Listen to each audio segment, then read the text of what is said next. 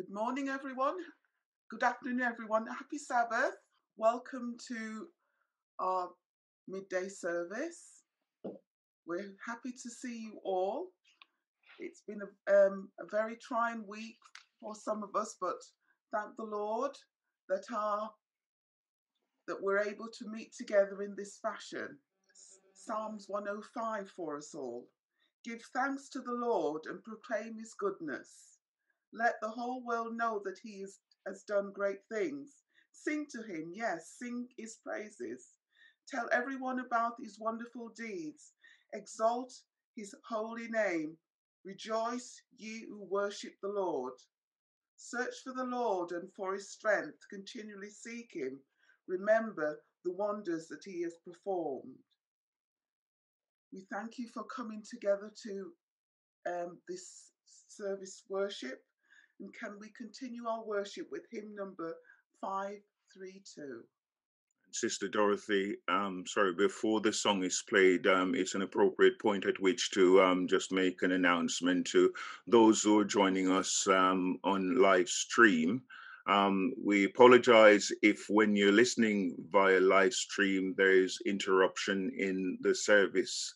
For example, when songs uh, are played, you might experience a gap that's because of copyright concerns, and we have no choice in it. Um, other alternatives are um, an, an alternative song may be made, but that's to facilitate for the break. But it's something that we can't avoid, I'm afraid. But it's probably best for you to be warned than um, to experience it. It's not that there's a stop in service, it's just an interruption that is necessary. But um, where possible, we try to interject by providing an alternative um, song. So please bear that in mind. Um, we'll have to make this announcement for others who join us from week to week just to remind them that that's the way it goes on the live stream without copyright um, licenses. That's how we have to do it for now. Thank you.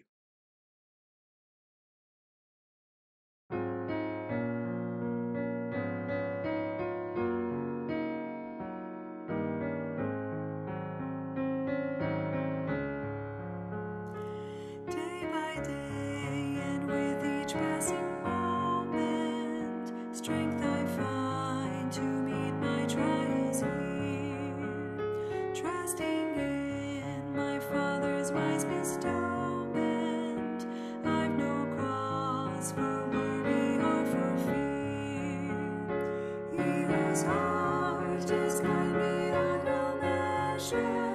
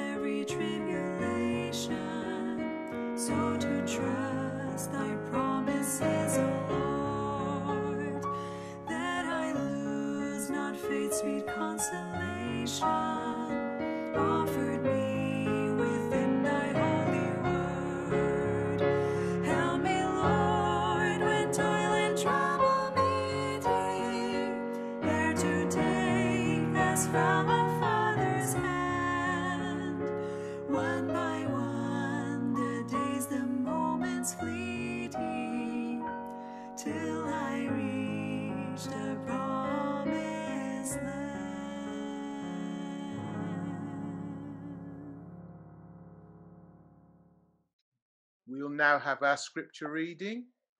Good morning, everyone. Good morning. Happy Sabbath. Um, the scripture reading for today, there's two scriptures that we're reading. One's taken from Galatians chapter 2 and verse 20. So if you turn there with me, so we're reading Galatians chapter 2, verse 20. Paul wrote, I am crucified with Christ. Nevertheless, I live, yet not I, but Christ liveth in me. And the life which I now live in the flesh, I live by faith in the Son of God who loved me and gave himself for me.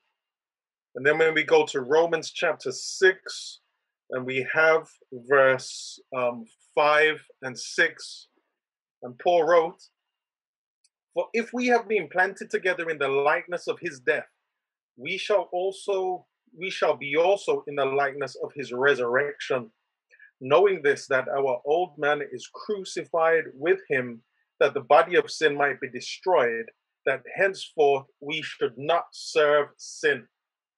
So therein, that's the scripture reading for today, and God bless you all. Amen. Amen. At this time, we will go into our intercessory prayer. So, if we could take a position of reverence and prayerfulness, and as I speak, you can pray also within your own homes as too. Let us bow our heads. Lord in heaven, we give you thanks that you've allowed us to come once more to fellowship one with another and to use this platform. We thank you, Lord, that you've provided us with these means that despite the times that we live in, we can still come and give thanks and give praises unto your name. Lord, we know that through this time there are many people who are being almost forgotten and because of not being able to be out and about and live their lives as they once did. We bring them before you at this time that we know you will not forget them and that you'll help us and bring these ones to our minds. Lord, we think of those at this time we know who are struggling whether physically, emotionally, and mentally. We know that it has been very difficult for many people, Lord. And we know there are those who've lost loved ones, and we bring them before you also. We, we come nearer to home, Lord, and we know that we have within the church family, we have many of our members that are not in the best of health, who are vulnerable at this time. We bring them before you. And you know each one, you know their circumstances. And we'd ask that you'll place your hands upon them and anoint them as you see fit. Father in heaven, we would not forget our young people too, Lord. This has been a very strange time for them both in terms of the challenges around education and work and in employment.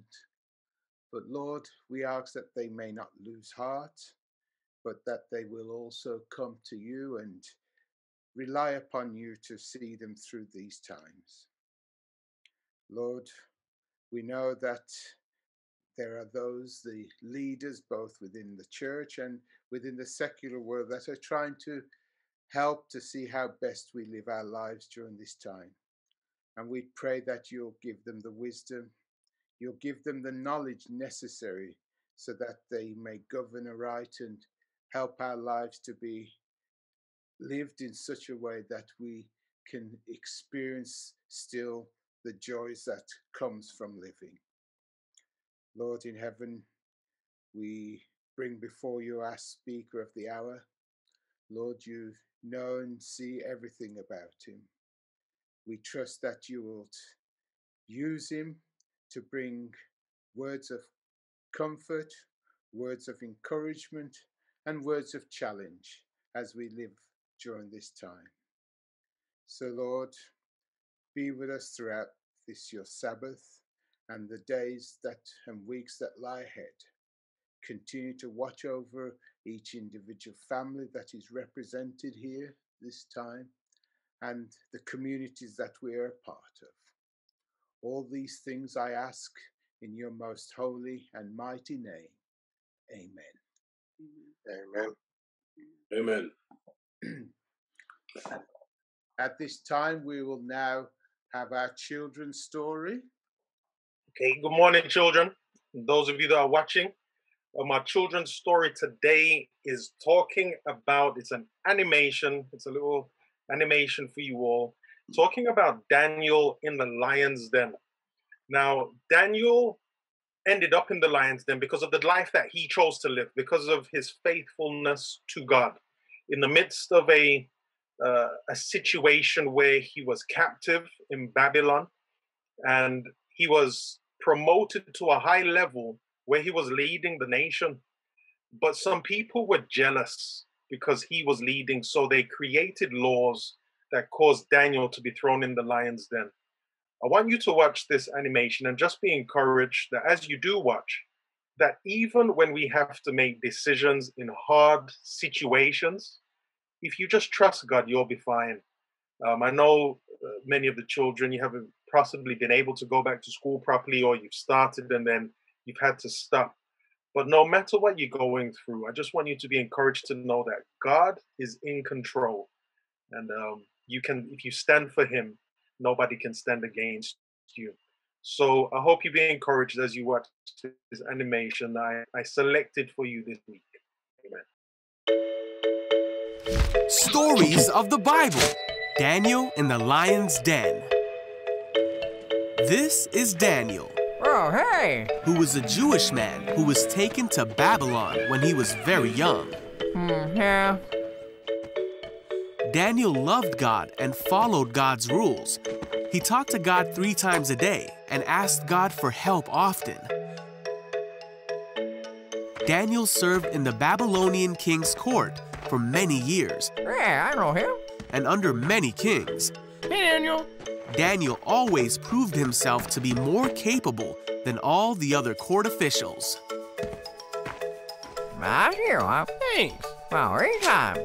Daniel was serving under King Darius, and because of his great abilities, the king made plans to place him in charge of the entire empire. Wow, okay. The other court officials searched for some fault in Daniel, but they couldn't find anything wrong with him. He was faithful, responsible, and completely trustworthy. Ah, wait. The court officials realized the only way to get at Daniel would be to challenge his faith. Come on! So they went to King Darius Excuse me, Your Majesty. and advised him to make a law that for the next 30 days, any person who prays to anyone except King Darius will be thrown into the lion's den. I like it. King Darius signed this law, and once a Babylonian king signed a law, it could not be overruled. When Daniel learned of this law, he went home and knelt down, as he always did, to pray in his room with the windows open towards Jerusalem.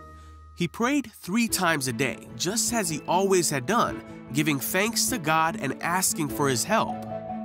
The officials went to Daniel's house and found him praying. Gotcha. They went to the king and reminded him of the law. I remember. Well, Then they said that Daniel had been found praying to God three times a day.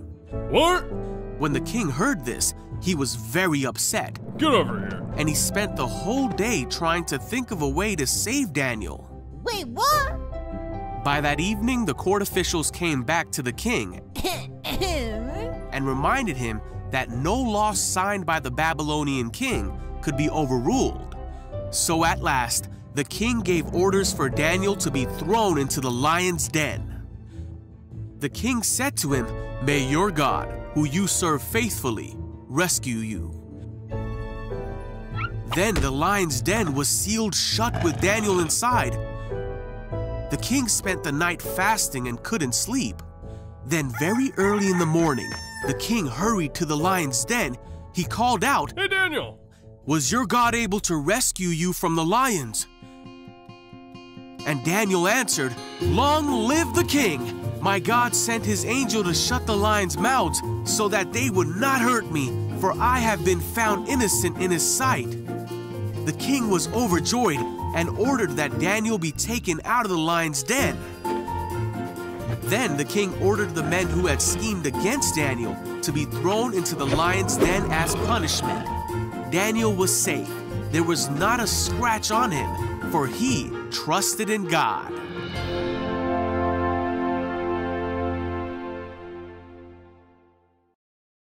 Good afternoon once again. It befalls on me this morning to introduce, or this afternoon, should I say, to introduce our speaker for today. Um, for those of us in Bilston and within the Wolverhampton SDA family, he's no stranger. Um, it is Elder Craig Gooden.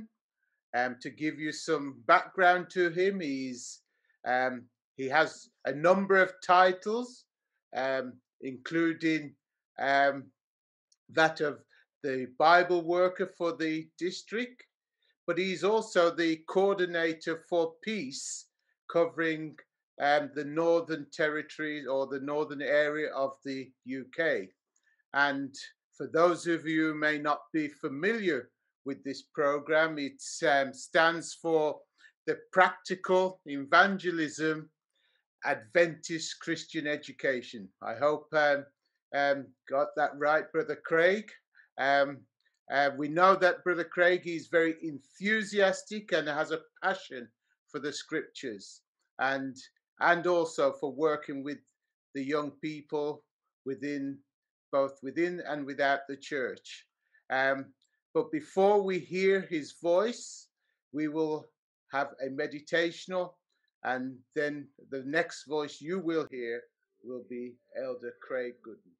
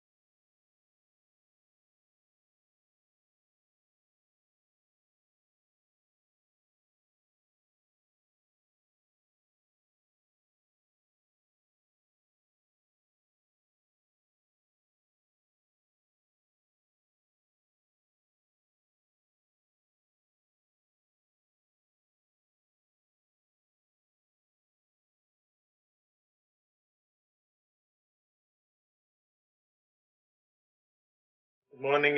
Good afternoon. Good afternoon, everyone. Um, grateful, grateful to be here right now. Um, at this moment, um, I'm speaking to yourselves here at Bilston. I want to say thank you to uh, Brother Donald for the introduction. And yes, you did get the acronym right for peace. Um, practical evangelism, Adventist Christian education. That's what we're about. We're going online this year. So do keep an eye out for what we'll be doing. There'll be some promotion and in the month of April, actually, if you want to take a note of the dates, the 12th, the 13th, and the 26th and the 27th, we'll be running some um, training on Zoom on how to do Bible studies online um, because there'll be, uh, I think it will be helpful for the church members to know how to do it, uh, but also for those that are not doing it already, but also just for the for the wider work and some some opportunities that I think will be appearing very soon. So I want to say good afternoon to you all again. The title of the message today is "The Life That I Now Live," um, and the focus, the focus of the scriptures, we're mainly going to focus on what Paul wrote in Galatians two verse twenty. Well, the idea of what he mentioned in Galatians two twenty, but also Romans six verse five to six. Um, and I'll probably just talk about those two before I get into the meat of the message. Um, I want to say I'm grateful that my wife's with us right now as well, um, and our son Israel. Grateful to be here. As you know, while Zoom is on, um, ministry is all over the place. We're, we're, you're getting brought into one location on Zoom, then another location, and another one. But it's still good to be involved in ministry for God at this moment right now. Um, there's a lot taking place, and it's just a blessing to be involved. Um, so, yeah, let's just say a word of prayer. Then I'm going to read those scriptures, say a few words about them, and then I'm going to get into the message. Also, for those of you that might be watching right now, and you've got some friends that are on Clubhouse, I'm also um, streaming this sermon to Clubhouse right now as well. Um, for those of you that may have some friends or whoever that you think could benefit from this, by all means, um, just let them know to follow me on Clubhouse, Craig Gooden, and um, you can take it from there. I know some people are logged on right now listening. So I'm on Zoom, I'm on YouTube Live, and I'm on Clubhouse. God bless you all. But let's pray. Dear Lord, I'm grateful for this opportunity to be speaking for you. Father, right now, as I'm talking about the topic, the life that I now live, I pray will serve to just encourage anybody who's listening, anybody who's watching, to just make the decision to follow you with their whole heart. This is my prayer. May you, Jesus, be lifted up, and may you draw all men unto you. In the name of Jesus Christ, I say, Amen. Amen.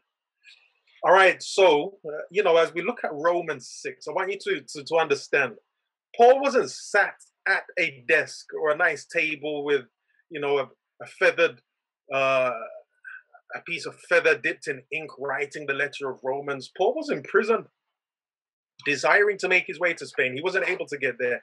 And he's in prison and he's writing a letter, um, he's writing messages that, that are going to make a huge impact. Probably he didn't realize, but a huge impact for the whole of um, the history of the church since that time.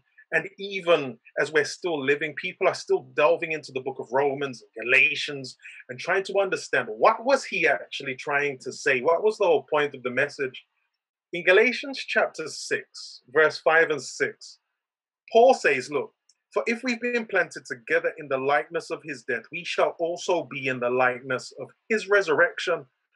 Um, knowing this, that our old man is crucified with him, that the body of sin might be destroyed, that henceforth we should not serve sin. In Galatians 6, uh, just the, those verses, the verses before that, Paul is actually speaking about baptism. Baptism is this thing that, you know, a ceremony, uh, something that we do when we're out, where we're fulfilling the decision that we've made with Christ. Much like people, when they make the decision to get married and there's the engagement, then there's the marriage ceremony. Once I make my decision to follow Christ and I've said I'm with Him, that's like the engagement ceremony. But then the baptism is like that big wedding ceremony.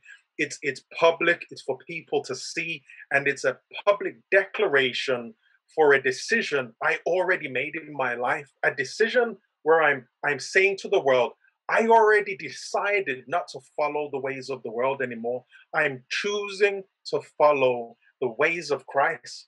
And Paul says that in this, it's like being planted in his death, like I've been buried into this baptism, like in the likeness of his death, but it's in, been raised up from that. I'm also in the likeness of his resurrection, living a new life. But whilst we're stuck in the same type of world that we're living in, you know, we go down in the pool and we come back and we feel different, but the surroundings are the same. Paul says that in the midst of those surroundings, you can continue living that life. That life of being victorious, of trusting God to help you day by day. But then we also read, Paul makes mention of the word crucifixion in verse 6 of Romans 6. In Galatians 2, verse 20, I just love this verse because of what it says. Paul says, I am crucified with Christ. Nevertheless, I live. So he's saying, in the midst of this death, this, this being dead to sin, there's also an opportunity for life. He says, Nevertheless, I live, yet not I, but Christ lives in me. And the life which I now live in the flesh, I live by the faith of the Son of God who loved me and gave himself for me. So Paul's tying this element of living by faith into him trusting what God's word is saying. And he essentially he says, it's not me living anymore because my old life, it's done away with. My new life is a life that's being led by new principles, new morals, um, a new example that I'm following, and that example was was lived out by Christ. You see, the definition of life has long been a challenge for scientists and philosophers, with many varied definitions that have been put forward. And it's partially because life is a process, it's not a substance, it's not something that you can just pick up and say, these are the ingredients. Life is a process, every single one of us goes through it. We're, we're all here, which proves we've been born. Um, but unfortunately, we don't look forward to that moment where we may die if we don't live to see Jesus return. But death is a whole other thing for us because we're Christians, because we believe what the Bible says about death. And what the Bible says about death is it's a sleep. We're going to wake up. Now, I don't know how many of you enjoyed being woke up this morning. Some of you probably didn't need to wake up. Some of you probably pressed the snooze button. But that moment of being resurrected from Christ, we're all going to be look, looking forward to. And I'm sure none of us would want to press the snooze button on that. But you see here, Paul doesn't try to describe life, but he does say how he lives his life now. And he says the way that he's living his life now is simply by faith. As he says in Galatians 2, verse 20, he said, The life which I now live in the flesh, in this battleground that we're all in, Paul says, I live that life by faith in the Son of God. And he says he, he trusts him because Jesus loved him and gave himself for him. And we know that he not only did it for Paul, he did it for all of you, and he did it for me too. It's a strange concept, but it can be spiritually understood. You see, life describes the period between life and between birth and death, of, as I've explained. And while Paul is saying that he's alive while being put to death, it can be quite strange to understand. But imagine a, a caterpillar.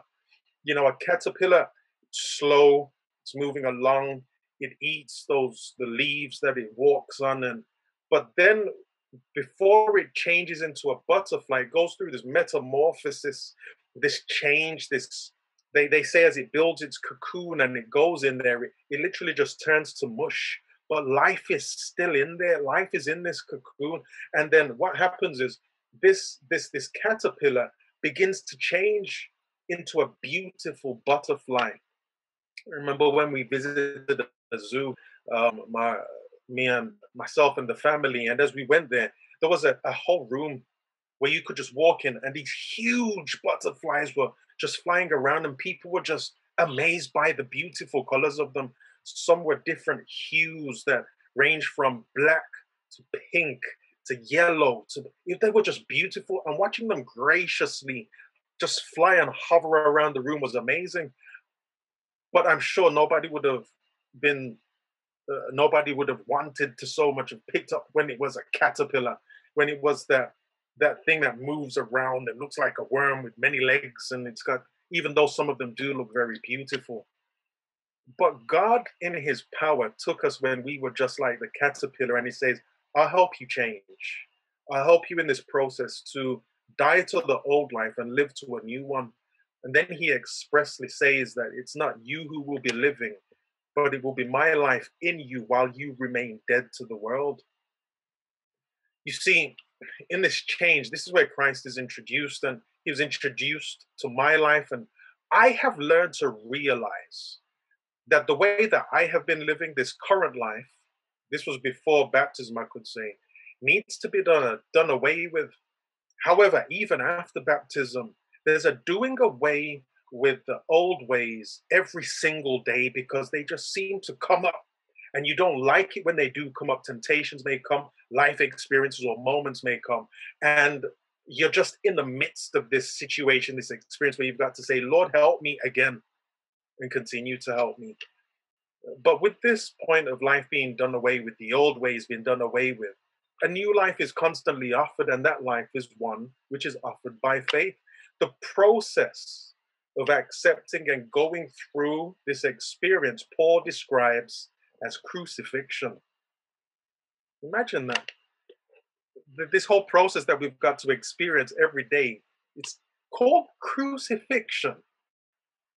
Now, the crucifixion was a most cruel form of torture that led to death. You were impaled with nails to a, a cross that, like Christ experienced, possibly was violently thrust into its position. It's painful. Crucifixion was the most at that time when Paul was writing, time of Christ and even years after, crucifixion was most often performed to dissuade its witnesses from perpetrating similar um, crimes. Victims were sometimes left on display, listen to this, after death as a warning to any other potential criminals. Crucifixion was usually intended to provide a death that was particularly slow and painful Hence the term excruciating, literally the out of crucifying.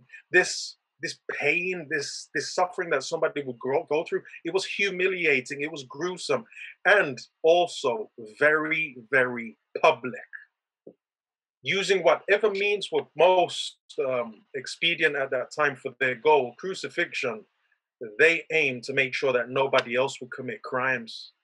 The term used is to dissuade witnesses from committing similar crimes, left on display as a warning. Death being shown as a particularly slow and painful thing, public in its experience. And Paul says he was crucified with Christ. My question is this crucifixion with Christ, we are on display, as the Bible says, and the whole world is watching every day, dying to self this crucifixion daily, which seems to be so slow and sh- we struggle with it, but God is the one who's to be in control. But it's happening. And we're on display for the world to see that in the midst of this crucifixion, I can live a new life. Can you imagine that? Eh, you know, when we look at sin and we consider what was going on, look at Second Corinthians chapter 5, chapter 5, verse 21 with me. Second Corinthians chapter 5 and verse 21. Just, just look at a few things with me here. It says here, For he hath made him, speaking of Christ, to be sin for us, who knew no sin, that we might be made the righteousness of God in him. So there's this transferring that's taking place. Jesus is taking our place so we can enter into the, the righteousness that he had when I've often thought about this, and just follow me as I'm going to say this Jesus Christ on the cross. Could it be that when Jesus was on the cross representing you and all of your sins, representing me and all of the mess that I was, and in some cases still am, and still struggling to persevere through. But I trust in these verses and acknowledge that I just have to die to self. Could it be that on the cross, in Jesus on the cross, God saw everything he hated, which is sin, in everything that he loved. Just wondering, could could we even comprehend that? Jesus becomes sin, which God hated. But Jesus is also his son, which is everything that God loved. Obedient all the way to death. And he became the thing that the, the embodiment of disobedience to do away with it for us. He committed no crimes. In Jesus on the cross, God saw everything he hated and everything he loved. And it causes, when I think of those things, it causes me to tremble. Because I'm considering this, Jesus did this for me. He became a public display for me, humiliated because of me. And some could say, yeah, but it was so long ago. But every day when I think about this, it's nearly as if I'm reliving the experience so that I can say that the life that I now live is one of faith. Nevertheless, in the midst of living this life of faith, it's a life of crucifixion. Jesus committed no crimes, but I have. Jesus was faithful, but I've been faithless. And he's done all of these things to say, if I can do it, Craig, so can you, but not in your own strength. You can only do it with my strength. So God has provided an example through Jesus, and he says, I've given you the example so you can willfully say you will follow it. However, I have to be the one that lives it through you because you, in your own strength, just can't do it. So, why on earth would I choose to be crucified with Christ, to suffer such a painful, ongoing experience with Him? Well, let's consider what the Bible says. You know, what does it mean to be crucified with Christ? What does this death mean? Galatians 5, verse 24. It says, And they that are Christ have crucified the flesh with the affections and the lusts. So, those affections and the lusts, those are the main things that I'm saying. Lord, when I'm giving myself to you, this is what I'm going to be willing to give up. Is that always easy? No, because we've been so connected to it. We've been so connected to it. Like I was sharing earlier in a Sabbath school session that was online, you know, I remember when we visited the Dead Sea um, over there in Israel. Excellent location. It's, it's called the Dead Sea, but the location's beautiful. Like when you go there and you're walking and go, like it can be quite painful as you're making the way through the sand because there's all of this. Uh, the sea as it's evaporated, sections have evaporated. It becomes sharp pieces of salt, and as you're walking over, and then you end up in the water you want to experience this moment of just letting go of everything and floating but you have to go deep in you have to go deep into the water where your feet can't touch the ground anymore and just let go and just just just rest back just ease back and just float and i remember while i was in the i won't say in the middle of the dead sea but while i was very far in oh the experience was just amazing and all you could hear, as I just took some moments of silence to just listen, all you could hear was laughter. People amazed that they won't sink. And I remember in the midst of that situation, I could see an elderly woman who was who wanted to just let go and float, but she couldn't get past the idea of just letting go and not having her feet on the ground and just lying backwards. She couldn't do it. And the person that was there trying to plead with her kept saying, just lie down. Just let go, just let your feet let your feet go off the ground, just fall back. And she couldn't do it because she was so attached. She couldn't get past the experience that she's possibly had year after year after year of standing in the sand, not wanting to sink. She believed she would sink. But what God says in these moments is, if you're willing to let go of those affections and lust, the things that we've always held on to, God says, I will keep you up. I won't let you sink. this daily experience is a dying to the world, a death to self that has to take place, but it's not always easy. The affections that we've always held on to, the things that are so dear to us, those darling sins which I want to hold on to, God says in letting go, it's like crucifixion. It's painful. It's painful. There's another verse later in the book of Galatians that alluded to this in Galatians 6, verse 14, where Paul says, But God forbid that I should glory save in the cross of our Lord Jesus Christ, by whom the world is crucified to me and I to the world. So here's the point I can't do this crucifixion myself. I heard one person once give an analogy of what it would be like. Imagine if you have to crucify yourself. You get the hammer in, you've got the nails, and you eventually get the nail on your hand, and then you have to hammer it in. Well, once the one hand has hammered the one side in, how on earth do you put the other hand in? Because the left hand's hammered in, the right. How do you hammer the right hand in if the left hand's already in? You can't. You can't do it in your own strength. And God's saying that this crucifixion is only possible by, by, by trusting in Jesus Christ, by whom the world is crucified to me and I am to the world. So as long as I am in Christ, trusting in Him, walking with Him, following Him, keeping focused on Him, as Hebrews says, looking unto Him, then I'm crucified to the world. The crucifixion in Christ deals with death to sin. Therefore, we see that the, the text isn't saying, uh, by what the text doesn't say, we see what it does say, if you understand what I mean. If the old man is crucified with him, then that means that a new man can live with him. By being crucified with Christ, it means that the body of sin is destroyed, so I don't serve sin anymore. Then what this means is that if I'm not crucified with Christ, then I will remain a servant to sin. And I'm sure none of us want to remain a servant of sin. However, how many of us struggle in saying, Lord, help me to just give up the things that I'm holding on to? During this time, this issue of a pandemic, it's been extremely interesting. Different people have been coming out online, different struggles have been coming out online, arguments have been coming out online. Issues that are just so prevalent. And what we're seeing is that in the midst of these these arguments, people are wanting to hold on to the things that really are holding them back from Christ.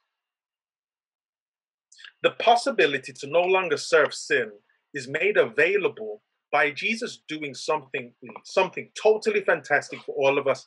He came as a man and destroyed sin in the same flesh that I have to live in. And I think I have to praise his name for that. Like I said at the beginning, this flesh, this body, it's like a battleground. And God says, I'm going to come in the same field that you have to fight this thing in, and I'm going to win it for you.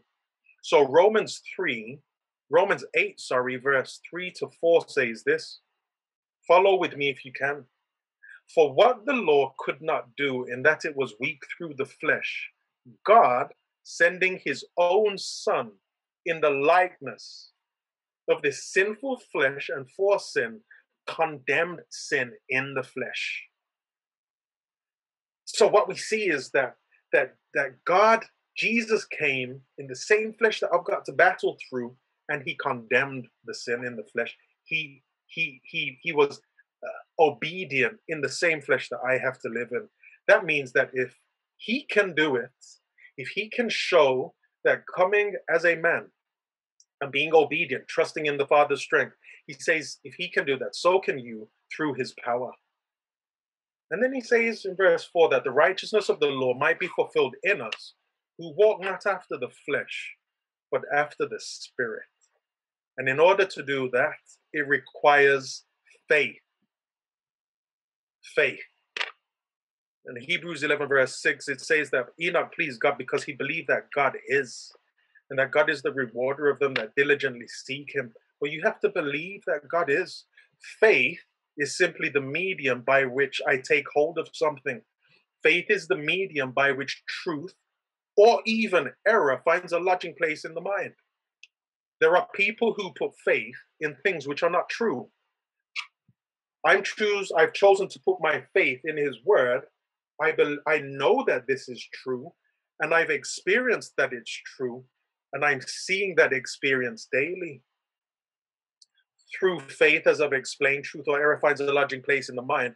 But God has also given to each and every one of us enough faith to put all of our trust in Him. Romans 12, verse 3 says, He's given each of us a measure of faith. So here's the thing if I just believe with the measure of faith He's given me, that little ounce of faith that He's given me, in one verse, He likens it to a mustard seed. He says, if, no, He says, if you even had the faith of a mustard seed. So imagine my faith is smaller than that. God is saying, if you just have faith, okay, and I put my faith in these words, praise the Lord, it is enough for Him to do everything that He needs to do in me. It's all about walking in His Spirit, trusting in Him, giving honor to Him. Walking in the Spirit means every present moment throughout the day, as I balance between the past, the present, and the future, I'm making my decisions based on a real experimental moment with Christ. And then we go to this place where we're brought to, to an opportunity to live and to live a new life. And that life that I'm now living needs to be a life of faith where no matter how hard the experience of this crucifixion with Christ is, you and I will be willing to let go of the world and those old ways of living so that we can live the new life. And some will never know the privileges of the new life because they're just so willing to hold on to the old life. You like the lady that's in the pool Uh, where the promise is that you'll float and never sink. And you'll never have the experience of never sinking because you're still holding on to the thing that will essentially cause you to sink. God wants you to let go of that and hold on to Him so He can uphold you and keep you above water. To be crucified with Christ is definitely the right decision, and it's definitely the right description that has to be given. Leaving the old world is painful, the separation is tough, the temptations are definitely constant, but it's the right thing to do. It's the right thing to do. I remember, I feel like I'm saying this like it's so many years ago. It was it was last year, but it just feels so long ago because of the lockdown. But I remember we were on a plane, and you know the the, the lady, the, the people walking up and down the aisles giving out food and desserts, and they had too much ice cream. Now I love my ice cream, and uh, anyway, there's this this this striving, and I'm on the plane, and I had one dessert, and then the lady came back to me and she said, "We've got more. Do you want some?" I said, "No, no, I'm not doing it. I'm not having too many. I'm I'm okay. I'm finished." She walked off, and then she just eased backwards. I you to imagine she eased backwards, and she looked at me, eyes open wide, and she said, "Are you sure?" And there was this whole point of temptation, and I'm like, "Just leave me alone." like, so I looked at her and I said, please, I'm not having any more. And I just smiled. But in order to get through that experience, I had to hold on to the goal that I've got at the end. And that is, I'm going to be victorious over this thing of not having too much ice cream. Was there a goal? Yes, I want to be healthier. I want to live a different life. And by seeing the goal of where I want to get to helps me deal with the current present issues I'm going through now. What goals do you want in life? Don't focus on the here and the now. Focus on where you're going to get to. Make small decisions today that will end up in huge victories tomorrow. The British cycling team right now, they're winning medals. But many, many years ago, there were companies in Europe that wouldn't even sell them a bike because they thought that if the British, if they sold one of their bright, one of their name brand bikes to the British cycling team, people wouldn't buy bikes because the British cycling team kept losing. But what they did, the British cycling team hired a man who then made 1% changes in everything they were doing. So they changed the way that they would wash their hands. They changed the way that they wore their clothes. They, they changed the interior of the vans that carried the bike so they could see the small specks of dust in places that they wouldn't expect to see. They changed the way um, uh, that they that they wore the helmets and everything else. And what this did was over time, it caused them through practice, dedication in making small changes they started winning the medals. And you can see when you go online, they won the medals, they they won the races because of small changes. Everybody sees the victory, but no, not many people understood the changes that had to be made. Make the small changes today. You want to write thousand, ten thousand, uh, ten thousand word essay? Well, start by writing five hundred or two hundred words today. You want to exercise and become the strongest? Start lifting just a few weights today. You want to be able to cycle far like Michael or Clarence can? Then just just start cycling around the block. What I'm saying is just by making a small change, it will empower you to make the big changes later on. And in the midst of all of this, we have examples. One thing I've learned as we've been raising our son is there are times when we have to try and explain difficult things to him, difficult things for him to understand, but in a way that he can understand. And I remember a moment where I was sat down with him and I thought, how do I explain what I need to tell him without using my adult language so he can understand me? And you know, the best way to do it is simply to show him. That's how he learns by showing him. And that's how we learn by being shown. A teacher told me once, he said, a good teacher will tell you what to do. An excellent teacher will show you how to do it. And in First Peter chapter 2, verse 21, we have the powerful story and the truth summed up in Peter's words, where he says, Christ has left us an example to follow. It's like tracing paper. You've got the perfect image underneath, you put the tracing paper on top, and you start etching out the image. But if we try to etch out the image in our own strength, it won't be perfect. So God says, Let me, by your faith, hold your hand and let me draw this picture for you, with you. And that's what Paul's saying essentially. The life I'm living, this drawing that I'm drawing, it's no longer I who's doing it, but Christ who's doing it through me. And I'm doing this by faith. My life of being crucified with Christ is a life that is on show. And to do this requires a willingness and a change of mind so that the life that I'm now living in the flesh, we can live by the faith of the Son of God. In closing, I want to tell you about the mentality that holds many people back. People say it's due to something called elephant thinking. Elephant thinking stems from when a baby elephant is trained for the circus.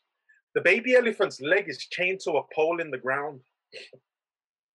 The baby elephant wants to get away. He pulls and he tugs, but they put a very strong chain on to cause the elephant to learn that they can't. It can't pull away. It can't escape. The chain's too big. The pole is too deep in the ground. So eventually, the elephant just stops trying. As the elephant grows up, he assumes that he simply can't get away. Now imagine, after many years, the elephant becomes a six ton powerful, powerful elephant. He could squeeze and pull the chain out. He could pull the pole out just by, by pulling, just by sneezing just by pulling away. He could do that because he has the power to, but he doesn't realize he has that power because he's always being chained. So he doesn't try. Circus trainers have said that they could put a piece of string around that elephant's leg and he still wouldn't break away. This assumed constraint, the string around the ankle, is a belief that you have based on past experiences embedded in your mind, sometimes at a very early age, depending on our circumstances. Your parents, siblings, friends, enemies, the environment that, that you live in, all of these things have shaped you, along with the things that you were told you could or you could not do. And these same constraints are still around some of your lives today. And I just want to encourage you to let you know that only through Christ can you truly break free so that you can live a new life in Jesus Christ. If you want that, that, that strength to break free of the things which are holding you back, I'm just going to ask you, could you just raise your hands and I'll just see? Let me see your hands. Thank you. I can see your, I can see your hands. It's possible, but it takes faith. So in closing, I'm going to just pray for you all. Pray that you'll be encouraged as we daily go through these moments. So that when somebody asks you, What are you doing in life? Now you can say, The life that I now live is a life of faith because the Son of God loved me and He died for me. That's my prayer in Jesus' name. Let's pray. Dear Lord, I thank you for this moment, for these opportunities to pray, to come before you, to put you first. And I pray, Lord, that with all of the hands that have been raised, that we will have that, that, that those moments to say, the life which I now live, by faith, I'm living because of the Son of God who died to give himself for me. So I'm thankful, Lord. I'm grateful for what you've done. Help us to not have elephant thinking. Help us to break free from the chains which have held us back. And we can do this because you've promised that we can. Help us to be able to trust that you will keep us above water. And we long for the day when we'll see you soon. If we end up in the grave, we're just sleeping. If we're alive to see you change, to, to see you come, we'll be changed in a moment, in the twinkling of an eye. In both cases, we will be changed. Because of the change, we will be physically changed because of the spiritual change that we make today. This is my prayer.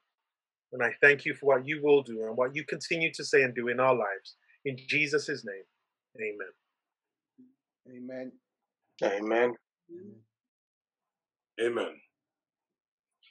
I'd like to thank Elder Gooden very much for that message of assurance and hope, one that will help us to understand what it is that Jesus did for each and every one of us.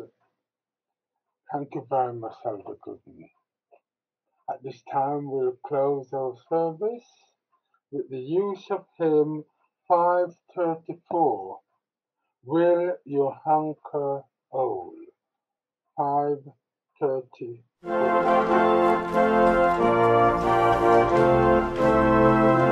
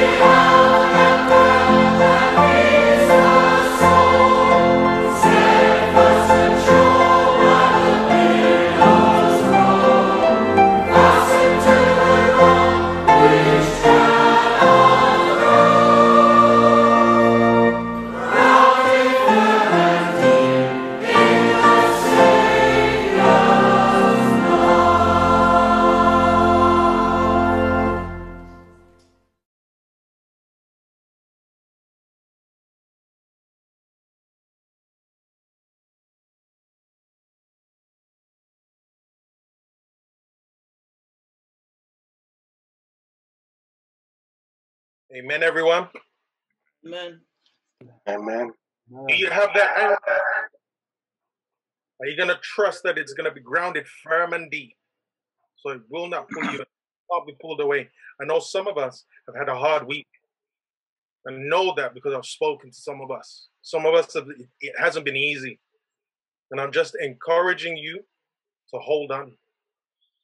God is the one who will keep us going. He will, he's the one that will, will hold us firm and fast. And I just want us to stay encouraged and trust and know that He's the one who's in control. Amen. Amen. Amen. Let's press. Let's pray. Dear Lord, I thank you, Lord, for your loving kindness and your mercy. And I pray, please help us to hold fast to you, to know that you're the one who's in control, that will not let us go as long as we hold on to you and stay focused on you. This is my prayer, Lord, in Jesus' name. Help us to have a blessed Sabbath. It's a beautiful day. And I, I pray that as these moments are here, that we'll just see that in the, the good days and the bad days, you're still looking down on us to encourage and inspire us. This is my prayer in Jesus' name. Amen. Amen. Amen. Amen. Thank you again, Elder Gooden, for your message to us. It's always a privilege for us to have you in our midst, and we look forward again to hearing you. Thanks very much.